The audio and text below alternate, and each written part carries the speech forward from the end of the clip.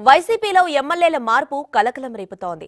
కూడికలు తీసివేతలతో అధినేత ఆడుతున్న ఆటపై నేతలు మండిపడుతున్నారు. ముఖ్యంగా పలువురు సిట్టింగ్ ఎమ్మెల్యేలు సిట్టింగ్ ఎమ్మెల్సీలు జగన్ తీరుపై విమర్శలు చేస్తున్నారు. సిట్టింగ్లను మార్చడం కొందరికి టికెట్ ఇవ్వకపోవడంపై వారు భగ్గుమంటున్నారు. జగన్కు తాజాగా ఓ ఎమ్మెల్యే షాక్ ఇచ్చాడు. రాయదుర్గం ఎమ్మెల్యే కాపు రామచంద్రారెడ్డి పార్టీని వీడుతున్నట్లు ప్రకటించారు. వైసీపీకి ఓ దండమంటూ బై బై చెప్పేశారు. రాత్రనక పగలనక జగన్ కోసం కష్టపడితే తీవ్రంగా అవమానించారని ఆవేదన వ్యక్తం చేశారు. సర్వే రిపోర్ట్ పేరు చెప్పి తనకు టికెట్ ఇవ్వడం లేదని చెప్పడం చాలా బాధగా ఉందన్నారు.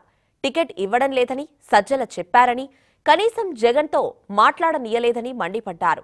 వైసీపీ పెట్టిన సమయంలో ఐదేళ్ళ పదవీ కాలాన్ని వదులుకొని వచ్చానని కాపు రామచంద్రారెడ్డి చెప్పారు. జగన్ను నమ్ముకొని వస్తే నట్టేటా ముంచేశారని అన్నారు. నేను ఒక సెల్యూట్ కొడతా ఉన్నాను. ఇంకొక గుడ్ గుడ్ బాయ్ చెప్తున్నాను ఒక సెల్యూట్ కొడతా ఉన్నాను. గుడ్ బాయ్ చెప్తున్నాను ఒక సెల్యూట్ కొడతా ఉన్నాను. ఇంకొక గుడ్ గుడ్ బాయ్ చెప్తున్నాను ఒక సెల్యూట్ కొడతా ఉన్నాను. గుడ్ బాయ్ చెప్తున్నాను ఒక సెల్యూట్ కొడతా ఉన్నాను. జగన్ను దేవుడితో సమానంగా చూస్తే నమ్మించి గొంతు కోస్తారని ఊహించలేదని కాపు రామచంద్రారెడ్డి చెప్పారు. రామచంద్రారెడ్డి అంటే కరుడుగట్టిన జగన్ వైఎస్ఆర్ అభిమాని అని అందరికీ తెలుసని అన్నారు. కనీసం జగన్ మమ్మల్ని కలిసేందుకు కూడా ఇష్టపడలేదని అన్నారు.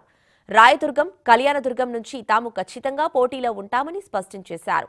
రాయదుర్గం నుంచి తాను కళ్యాణదుర్గం నుంచి తన భార్య స్వాతంత్ర అభ్యర్థులుగా పోటీ చేస్తామని చెప్పారు. ఇండిపెండెంట్లుగా గెలిచే సత్తా తమకు ఉందని అన్నారు. మాట మీరలేదు. మంచి జరుగున్నా ముఖ్యమంత్రి గారి నుంచే చెడు జరిగిందా ముఖ్యమంత్రి గారి నుంచే. మేము మంచి చేసే అవకాశం మాకు లేదు చెడు చేసే అవకాశం కూడా మాకు లేదు. అలాంటి పరిస్థితుల్లో కూడా మమ్మల్ని పిలిచి మీకు సర్వే రిపోర్ట్ బాగలేదని మీకు టికెట్ ఇవ్వడం లేదని చెప్పడము చాలా నాకు బాధాకరంగా ఉంది. అయినా కూడా దీన్ని దిగుమింగుకొని ఈరోజు పోతున్నాము. నా సొంత ఊరు కళ్యాణదుర్గం. ఇప్పటి నుంచి ఇక్కడ పోతున్నాము. పార్టీ టికెట్ లేదన్నప్పటికీ కూడా రాయదుర్గం నుంచి కూడా మేము పోటీ చేస్తున్నాము. కళ్యాణదుర్గం నుంచి కూడా నేను పోటీ చేస్తా ఉన్నా. కళ్యాణదుర్గం నుంచి ఇండిపెండెంట్గా కానీ లేదా ఏ పార్టీ టికెట్ ఇస్తే ఆ పార్టీ తరపున కానీ తప్పకుండా కూడా నేను పోటీ చేసి నేను గెలుస్తానికి తప్పకుండా గెలుస్తాను. ఎందుకంటే ప్రజల్లో అంత అభిమానం మా పైన ఉంది.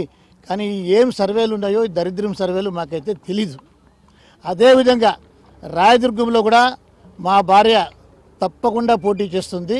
రాయదుర్గం నుంచి కూడా కళ్యాణదుర్గం నుంచి కూడా మా కుటుంబం నుంచి ఎక్కడి నుంచి అవకాశం వస్తే అక్కడి నుంచి పోటీ చేస్తాము.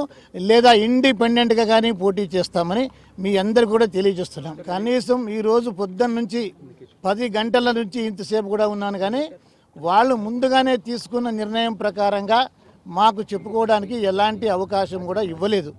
సజ్జల రామకృష్ణారెడ్డి గారు నీకు టికెట్ ఇవ్వట్లేదని చెప్పి మమ్మల్ని పంపించడం జరిగింది.